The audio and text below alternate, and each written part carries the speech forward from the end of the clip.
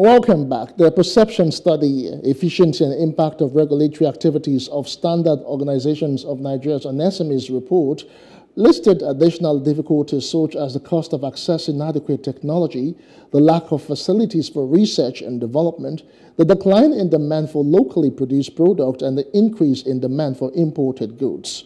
I am now being joined by the National President of the Association of Micro Entrepreneurs of Nigeria, Amen, Prince Savior Iche Many thanks for joining me, Prince. I can hear you, sir. I can hear you. All right, uh, let's just uh, begin uh, this way from the reports uh, that uh, we uh, just read out that was released not too long ago. Now, the study emphasizes that approximately 80% of SMEs face significant challenges like unfavorable and risky economic climate influenced by various variables. Can you share some of these challenges with us? Um, thank you for having me. Um, the challenges that SMEs are having are so enormous, so big that, um, firstly, the policies, government policies.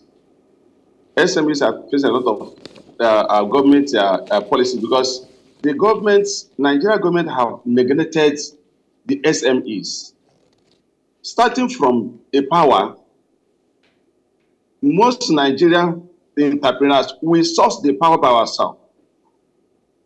You know, okay, now, for instance, most entrepreneurs, the reason that, that most entrepreneurs are not making headway is because the little money we have, we are, we, we are using that money to buy diesel, and the, you know the cost of diesel now.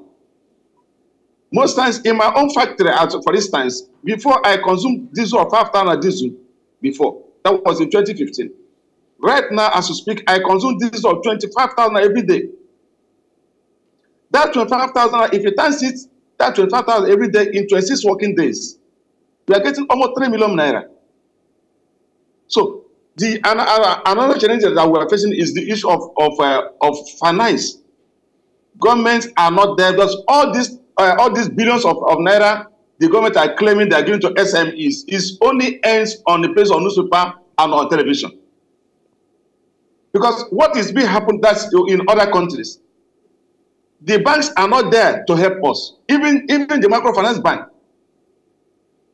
So we have a lot of challenges. That is why we have a number, almost uncounted number of unemployment. Because the SMEs are the highest employer of labor. So the policies the government are, that are bringing, and again, most ministers of uh, most ministers of, of, of uh, trade and investment, most of them doesn't have any idea of business. Imagine when you are bringing a, a, an engineer to run a sensitive a post as business, as economy. So we need someone that, that knows the pain that SMEs are having. The SMEs in Nigeria, I want to, to tell you that about 48% of SMEs in Nigeria have died naturally. And the few ones are in common, as, I, as always said. All right, Prince. Uh, uh, the report also identified issues uh, uh concerning multiple taxations uh, as being burdens for small businesses across the country. You are a businessman, you are a manufacturer in a small scale and all of that. Can you share some of these factors uh, that are uh, placed on um, small businesses, specifically your business? Okay, now the issue of tax. The, the area I, I, you know, I stay in Lagos, there is a lot of taxes. They will come with, in fact, with uncountless, you know, that's uh, uh, uh um, stories. My workers pay a tax. I have to pay my, my, my, my workers' tax. I have to pay income tax. In fact, the, the, the tax, you know, that's they are numerous. That's, that's the uncountable. All right? The uncountable. The tax we are talking about, that's the, the, we are paying tax in everything we, we do. Even the water we use, we are paying tax on, on it. You know, and the government are just, oh, they are not there to help us. Imagine when you are asking a micro entrepreneur that we are that we, we, we, we provide everything by ourselves and you're asking us to pay income tax. How much is the income? The income that that we that we have used in buying diesel, in buying fuel. So it's in fact it is hard time for government to know the pain that SMEs are are, are, going through. All right, uh, let's look at um, another issue right now, which would be uh, technology, because most times uh, it is said that technology and research and development also help in um, building or making um, businesses grow. But uh, people tend to say that uh, in Nigeria it is really very expensive accessing adequate technology. How has, how has the cost of um, technology affected your business? Well, the issue of technology, you know, because a, a small business, you know, we're talking of a, a business that's, you know, the, the capital base is not up to 500,000 naira.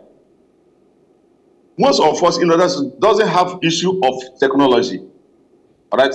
Most of us, most of our, our, our people that's in a, a small level, we, we, we don't have issue of technology. is, it's only for uh, um, um, multinational companies. But when we talk of the technology, most of us, most of the, the entrepreneurs, there's most time that we need to, many of us are upgrading by ourselves, you know, that's getting the, the, the information by ourselves. Thank God, thank God for the issue of, uh, of uh, social media. We can Google anything that, that, that we want to know, all right, that we want to know. We can even go online and Google it. But most times we expect the government to take some of our the, the local manufacturers, probably something like to, to China or in, in, in, in some, some uh, uh, African countries where things are working well, for us to, in order to, to get more exposure, right, that will help our business. But they don't do that. I was going to, I was going to come to that because uh, that's also another issue that was raised, uh, issue of um, formal education or technical competency, as in trainings and all of that. You know, there are actually issues that affect them, small business owners and, of course, their own staff. There's an association that um, you um, preside over, which is the Association of um, Micro Enterprises of Nigeria, AMEN. How has your association helped in that light to ensure that your members are actually carried along uh, as per development and um, new inroads that affect their businesses? Yeah, um, time to time, you know, we educate our members. Perhaps we have uh, um, we have uh, clusters. Most times, um, members that are in a, a, a particular kind of business, you know, we give them that's most times they hold their their, their seminars. They uh, uh, brainstorm on you know with each other's ideas. You know some of them that's after we do it by ourselves. Let, let, let me just say this. This median small business scale of nigeria most times they call us for training. Let me just probably many people don't know. And the amount they are charging entrepreneur for them to to be part of that training some of us doesn't have the money mm. so on our own we develop our others within ourselves we share experiences time to time right for us in order to upgrade but uh, the, the small and medium enterprise developers on nigeria's media most of their training you see sm is uh, attending is with monetary gain. They don't do it free of charge. That is why so many entrepreneurs cannot be able to have such amount of money for them to, to go for such for such training. So mm-hmm. to us, we we develop within ourselves, we return our, our members for mm-hmm. them to be uh, to, to be upgraded.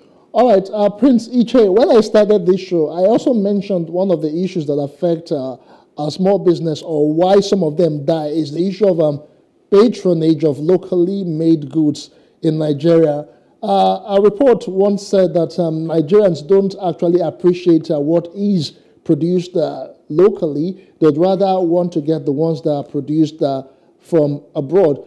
You have been in this business for quite some time. You know, what can be done better in terms of um, packaging or what we can see so that Nigerians can begin to appreciate made in Nigeria product as against uh, getting imported ones?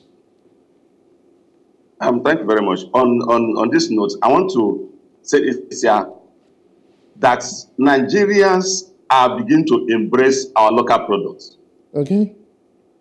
Yes, 68%. Because in Nigeria products, if you buy a Nigeria product, you will see the phone number there. If the product is not good, you know where to report.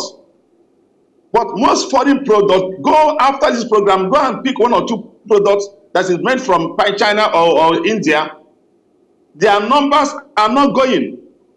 So this time around, Nigerians are beginning to embrace their own product because they know that the efficacy of those products. Thank God for, for NAFDAC that are regulating the, the, the, the industry. Probably is, but now as I speak, 68% of Nigerians are now acquaintance with our products. They are happy using it, and it is working. Coming to the issue of packaging, nobody who don't want good things, good things come with money. So because of the little money we can be able to source for our ourselves, the packaging you see is what we can be able to afford. All right? All right. So, okay. yes. Okay. So, uh, uh, if the government are serious, they want our packaging to be okay, as is as is being done in other countries. Mm. We know what is good, but we have to manage the little, little resources we have. All right. Okay, fine. As we round off now in 30 seconds now, what more can be done? Because you mentioned the issue of capital and funding. How can government make capital more accessible for small businesses? Very quickly, please. I've said the time time number. We have an association, uh, five names and, uh, and the identify association of uh, in Nigeria. Mm. The government should give money to these associations. We know our members. We know how much they need. Some members, what they needed is only 100,000 naira. Give that 100,000 naira in next six months. Mm. You ask that, you, you say that that 600,000 naira have made a lot of impact. So the government should channel the money to the to, to the associations. Right. So we can be able to know, you know, how much each of our member need. But this one they are doing online. Most of online uh, uh, uh, loan or grants is only on pages on newspaper. All right. As I will drop with this, as we have uh, uh, as as we have ghost workers, likewise we have ghost entrepreneurs. It's only ghost entrepreneurs mm-hmm. are making use of of those money. All right, thank you so much. Uh, I have been speaking with Prince uh, Savior Iche, the national president of the Association of Micro Entrepreneurs of Nigeria. Uh, many thanks for sharing all of these challenges and, of course, uh, the way forward for small businesses in Nigeria. We do appreciate your time. Thank you. All right, uh, that's the size of the show for today. I am Justin Akadunja, but just before I go, I'll leave you with this report on the Standard of um, uh, Enterprise report for last year. We'll see you again, same time tomorrow. Bye for now. Templars Law Firm. The maiden edition of the State of Enterprise Report 2022 brought together experts from the financial and professional services sector, FPS. The SAE report, a first of its kind, an annual industry publication, gives insight into Nigeria's FPS sector. Delivering his keynote address, a professor of economic policy at the University of Oxford, Stefan Dercon, stated that the financial and professional services industry is instrumental to driving any nation's economy. He noted that a Nigeria that thrives and is more stable with better economic policy will cause all businesses to flourish. Now, when you look at any country in the world, badly run or well run, relatively speaking, you know, it can be a few thousand, can be a few hundred, can be a few dozen, group of people with power or influence that determine the direction of politics and the economics in a country. Stakeholders say that if there is prosperity and no poverty, there will be peace. For them, the FPS industry is instrumental in driving the prosperity and economic development of Nigeria. We will ensure that together, in our practice as professional firms, we give Nigeria the very best that it deserves. And we will also ensure that the private sector under this umbrella comes together as a partner with other sectors for growth and development of our, of our nation. There's clearly a need to change the narrative about Nigeria. And we can't leave it alone to the uh, public sector. The private sector also needs to take the initiative. And given the very critical role that the financial and professional services sector plays in economic development, as we have seen in other parts of the world, this is why the Enterprise NGR was established. It's about realizing that there's a bigger goal for all of us and therefore engaging. And, you know, engagements have taken place historically in different forms. We think this kind of platform, where there is hopefully a collective voice, a sort of unified voice, can also have maybe a bigger impact. Managing Director of a merchant bank, Banjo Adegbohungbe, emphasizes the need for strong partnership between the business community and those with political powers. And we see the financial and professional services as a catalyst for economic development and growth. And the focus here is to provide a platform that can ensure that the financial and professional services sector in Nigeria can rank with that anywhere in the world and can also provide that catalyst and provide that platform to generate development and growth across all sectors of the economy. Just like other participants, Banjo holds that if all chronicled in the report are adhered to, everyone stands to benefit from the ripple effects of economic development. It's a